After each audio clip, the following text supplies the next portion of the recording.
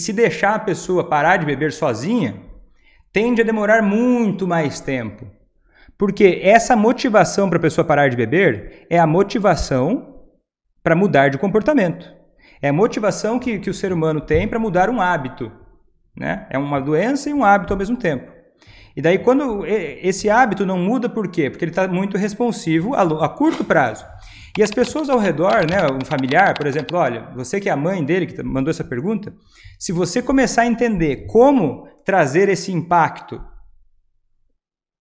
para o dia a dia, para tornar a vida mais atraente na sobriedade e menos atraente bebendo, né? E, e, e, não causando resistência no meio do caminho, com algumas, algumas habilidades de comunicação, isso tende a acelerar muito a recuperação dessa pessoa, a vontade dela de parar de beber, com pequenas atitudes simples do dia a dia. Pequenas atitudes simples do dia a dia. Ok, ele está triste agora, não toca mais os instrumentos dele. Mas assim, como é que daí, tem, daí a gente vai parar para pensar? Não é uma, isso que eu estou dizendo é uma metodologia, né? A metodologia ACA, né? Que eu, que eu trago aqui para vocês é, é, o que eu estudei, é o que eu vejo funcionar. E ela não, é, não são regras definitivas para todos. Ela é muito mais um fundamento de entender como o comportamento de beber ele se reforça, porque ele só segue ocorrendo, porque ele é reforçado em algum nível e como ent entender também como esse comportamento de ficar sóbrio pode ser reforçado, sem reforçar o comportamento de beber e sem causar mais resistência. E aí, a gente, nessa lógica, para exemplificar isso, né? É a lógica que é o importante, mas o exemplo só ilustra um pedaço da lógica. É você entender, por exemplo, como é que ele continua bebendo e continua talvez até usando drogas e, e isso está sendo tem um certo equilíbrio nisso. Como é que esse equilíbrio se estabelece? Por mais que ele fica triste, por mais que ele perdeu coisas da vida dele, esse equilíbrio ainda está tá estabelecido.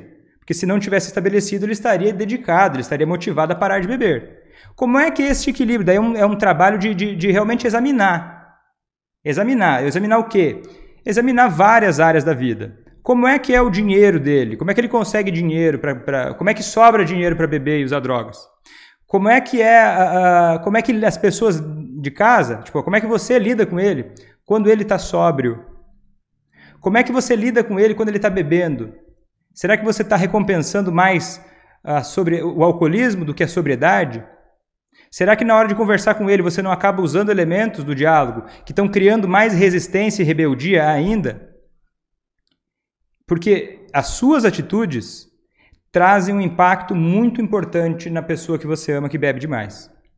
Mesmo que você não saiba, mesmo que você não queira, elas causam um impacto muito importante, que pode tanto incentivar o alcoolismo, sem querer, sem querer, mesmo que você brigue com essa pessoa, oh, fica enchendo o saco dele o tempo todo, não quero que ele beba, já falei mil vezes. Ficar falando mil vezes que a pessoa tem que parar de beber não é uma alternativa muito, muito eficaz, né? não, é, não costuma ser eficaz por natureza, por exemplo, né?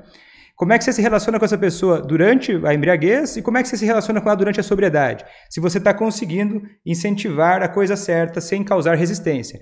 Fazendo isso direito, o que, que acontece? Quando o familiar entende como fazer isso e aplica isso no dia a dia, o que, que tende acontecer? Um problema de alcoolismo que talvez fosse levar 20 anos para melhorar, para essa pessoa começar a querer parar de beber, pode ser antecipado essa vontade de parar de beber, essa motivação para parar de beber, de semanas a meses. Tá? Isso é uma informação técnica e científica. Quando a família sabe como um, pelo menos um membro da família entende como lidar com o alcoolismo e começa a atuar para criar motivação no alcoolista em parar de beber, para incentivar mais a sobriedade do que o alcoolismo, o que, que acontece? A tendência é transformar 20 anos em poucas semanas ou meses.